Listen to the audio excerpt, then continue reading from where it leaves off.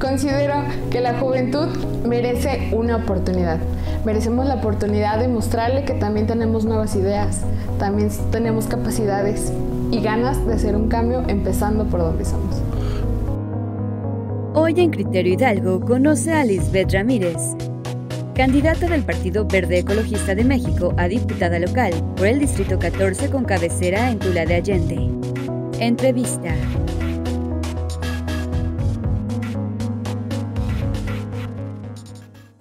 Hola, ¿qué tal? Los saluda su amiga Liz Ramírez, candidata a diputada local por el Distrito 14 con cabecera en Tula. Mujer profesionista, licenciada en enfermería con una especialidad en enfermería quirúrgica. Una mujer apasionada por el baile, luchadora social. También me encanta el deporte. Liz, bienvenida, muchas gracias. Muchas gracias. Por favor, cuéntanos, ¿qué te impulsó a ser candidata a diputada local? Desde mi trinchera en la enfermería he vivido la experiencia muy de cerca con los pacientes en los sectores públicos, las deficiencias de insumos y materiales.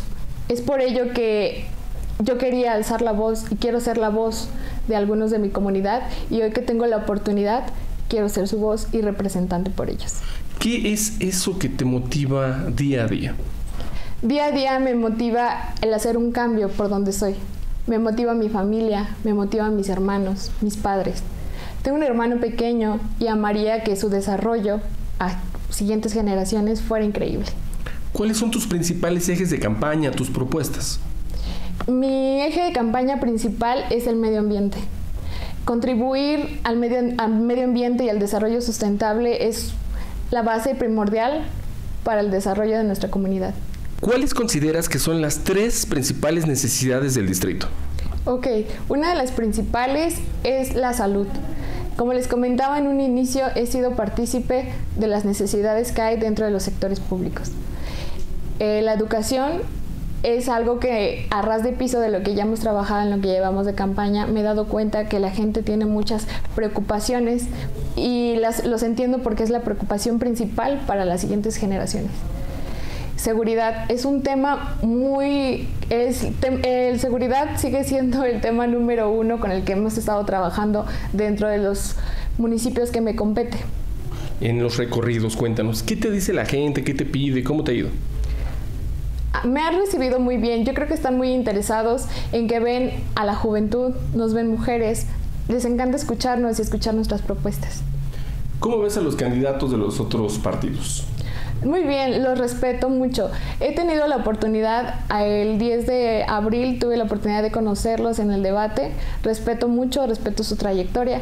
Sin embargo, veo que son candidatos que no están comprometidos con el medio ambiente. Te voy a hacer unas preguntas rápidas para conocerte, ¿vale? ¿Cuál fue el último libro que leíste? Infectología clínica.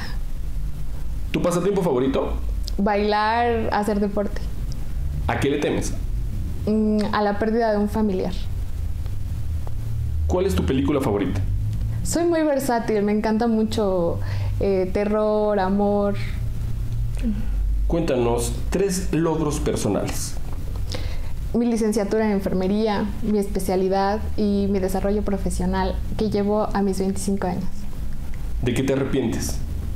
No me arrepiento de nada, sin embargo considero que las experiencias buenas y malas me han ayudado a seguir hasta donde estoy el día de hoy. ¿Qué es lo que más te gusta en general del Distrito 14? Me gusta su gente, me gusta el confort que se siente alrededor, que somos una zona turística, una región en donde debemos trabajar para poder sacar la flota. ¿Cuál es tu comida o tu ojito favorito? Amo las enchiladas y los taquitos al pastor. Descríbete en una palabra una mujer con don de servicio. ¿A quién admiras? A mis padres. Cuéntanos, ¿por qué deberían votar por ti? Considero que la juventud merece una oportunidad. Merecemos la oportunidad de mostrarle que también tenemos nuevas ideas, también tenemos capacidades y ganas de hacer un cambio empezando por donde somos. ¿Algún mensaje final que quieras mandarle a quienes ven o van a ver esta entrevista? Los invito a que analicen su voto para este 2 de junio, a que se llenen de energía que transforma porque recuerden que el futuro de la 4T es verde. Muchísimas gracias. Gracias.